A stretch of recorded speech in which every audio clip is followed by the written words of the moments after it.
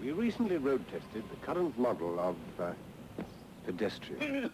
Morning cold start, poor. Fuel consumption, heavy. The model needed topping up throughout the day.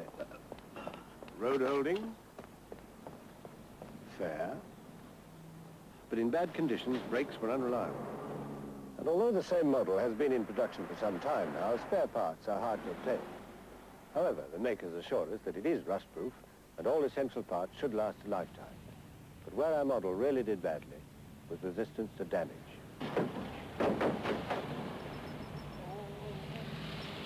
All tests show that in collision with other vehicles, it always came off worst.